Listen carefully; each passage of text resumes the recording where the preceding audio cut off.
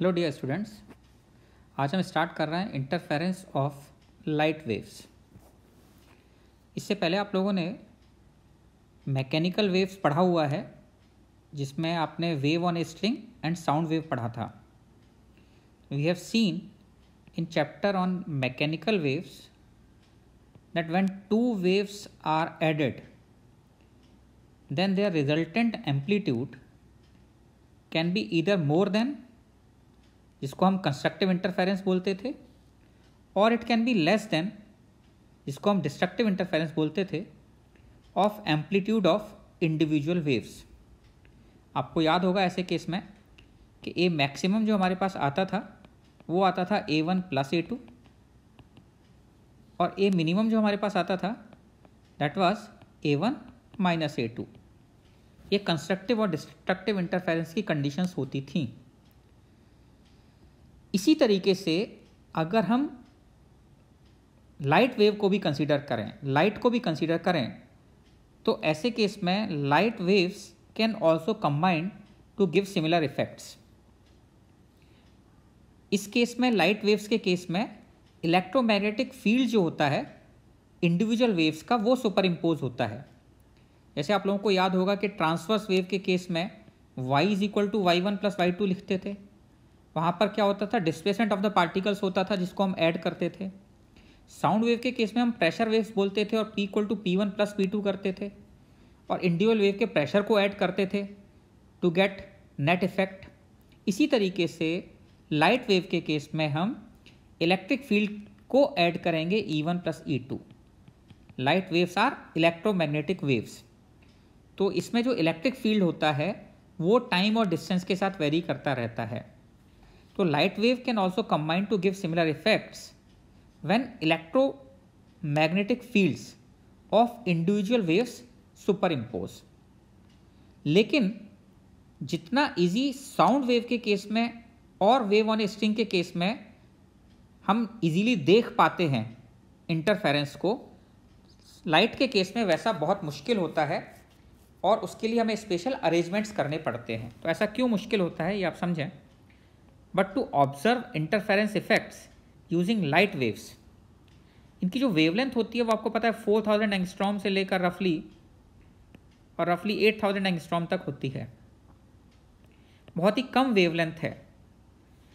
तो due to this short wavelength it's not easy to observe interference pattern using light waves तो ऐसे case में हमें कुछ स्पेशल अरेंजमेंट्स करने पड़ते हैं।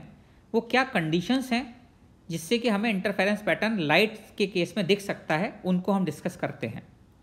तो to observe sustain interference sustain interference का मतलब है कि conditions are not changing with time किसी एक पर्टिकुलर पॉइंट पर हमें जो इंटेंसिटी मिल रही है, वो इंटेंसिटी की कंडीशन टाइम के साथ चेंज ना हो। तो to observe sustain interference following conditions should be met ये दो कंडीशंस हैं मेनली जो हमें इसमें सेटिस्फाई करनी होती हैं, एक तो है sources must be coherent sources को कोहेरेंट होना चाहिए। कोहेरेंट का मीनिंग क्या है? They must maintain a constant phase relationship with respect to each other इसका मतलब ये है कि इनके बीच में अगर जो फ़ेज़ डिफरेंस है, वो फ़ेज़ डिफरेंस टाइम के साथ चेंज नहीं होना चाहिए। अगर फ़ेज़ डिफरेंस ज़ीरो है तो बहुत अच्छी बात है, लेकिन अगर कुछ फ़ेज़ डिफरेंस है भी दो सोर्सेज के बीच में तो फ़ेज़ डिफरेंस टाइम के साथ चेंज नहीं होना चाहिए। अगर ऐसी कंडीशन होती है तो उन सोर्सेज को हम बोलते हैं कोहेरेंट सोर्सेज और दूसरी बात यह है कि जो सोर्स हम ले रहे हैं that should be monochromatic source monochromatic source का मतलब है कि वो सिंगल वेवलेंथ की लाइट एमिट करना चाहिए। तो ये दो कंडीशंस हैं हमारे पास it should be coherent and it should be monochromatic now problem क्या है? लाइट के केस में two different conventional light sources conventional light sources की जब मैं बात करता हूँ तो बल्ब्स आ गए कैंडल्स आ गई ट्यूबलाइट आ गई, ये सब कन्वेंशनल लाइट सोर्सेज हैं. लेज़र्स को हम इसमें कंसीडर नहीं कर रहे हैं. Lasers are not conventional light sources lasers को छोड़ दें तो बाकी जो सोर्सेज हमें दिखते हैं लाइट वाले, वो कन्वेंशनल सोर्सेज की कैटेगरी में आते हैं. तो two different conventional sources like bulbs candles can never behave as two coherent sources because light that we get from these sources is achieved by spontaneous emission. Lasers में जो हमें light मिलती है, वो स्टिमुलेटेड एमिशन से मिलती है। Laser की फुल फॉर्म ही होती है light amplification by stimulated emission of radiation लेकिन कन्वेंशनल सोर्सेज के केस में हमें जो लाइट मिलती है, वो स्पॉन्टेनियस एमिशन में होती है। स्पॉन्टेनियस एमिशन से लाइट कैसे मिलती है? जब हम सोर्स को एनर्जी देते हैं तो बाहर से एनर्जी रिसीव करके a group of electron goes into upper excited state और अपर एक्साइटेड स्टेट के बाद वो टेन की पावर माइनस एट सेकेंड के ऑर्डर में ग्राउंड स्टेट में वापस आ जाता है। और जब ये electron group of electrons upper state से ग्राउंड स्टेट में वापस आ रहा होता है तो इन दोनों एनर्जी लेवल के डिफरेंस के बराबर हमें फोटॉन्स मिलते हैं। और वो फोटॉन्स अगर 4000 से 8000 के बीच में लाई करती है उनकी वेवलेंथ तो हम इसको क्या बोलते हैं?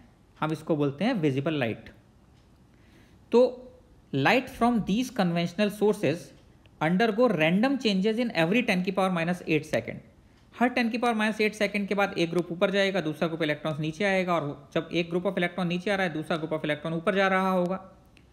तो टेन की पावर माइनस एट सेकेंड तक ही इन दोनों ग्रुप ऑफ़ इलेक्ट्रॉन्स में फ़ेज़ रिलेशनशिप रह सकती है।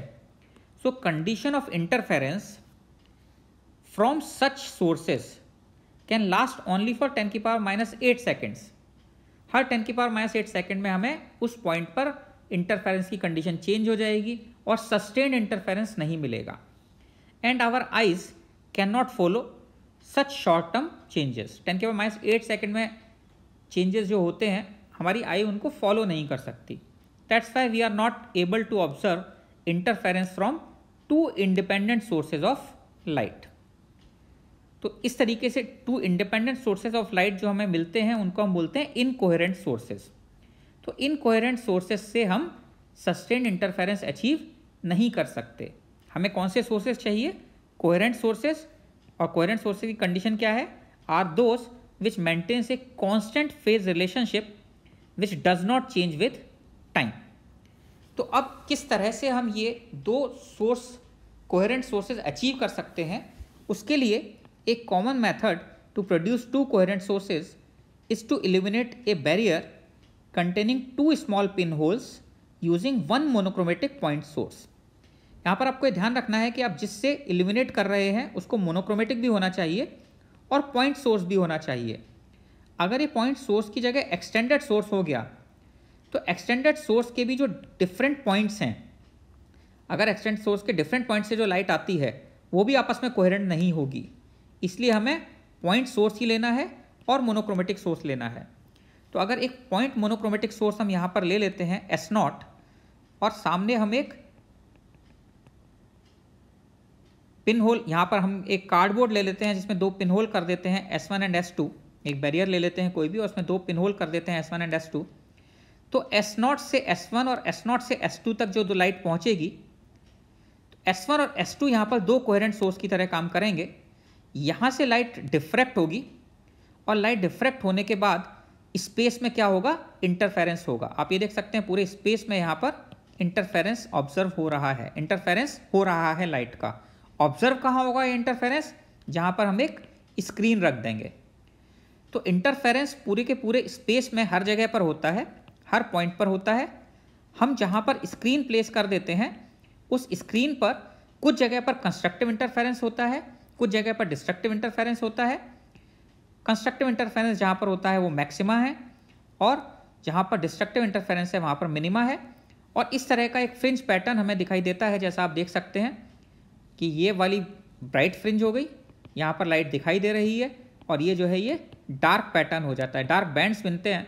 ब्राइट और डार्क बैंड्स जो बनते हैं light from S one and S two produces a visible pattern of dark and bright bands on a screen ये जो हमें पैटर्न मिलता है, इस पैटर्न को हम बोलते हैं फ्रिंज पैटर्न तो आज की लेक्चर में हमने ये देखा कि क्या कंडीशन है इंटरफेरेंस ऑब्ज़र्व करने के लिए एक स्क्रीन पर.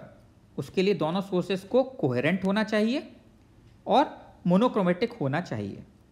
नेक्स्ट लेक्चर में हम ये देखेंगे कि इसका मैथमेटिकल एनालिसिस क्या है. अगर हम इंटेंसिटी देखना चाहते हैं स्क्रीन पर तो as a function of distance किस तरीके से इंटेंसिटी वेरी करेगी। तो मैथमेटिकल एनालिसिस जो है वो हम नेक्स्ट लेक्चर में देखेंगे। इस लेक्चर में हमने केवल कंडीशंस क्या हैं सस्टेन इंटरफेरेंस की, उसको डिस्कस किया है। आई होप आपको क्लियर हो गया होगा। Okay have a good day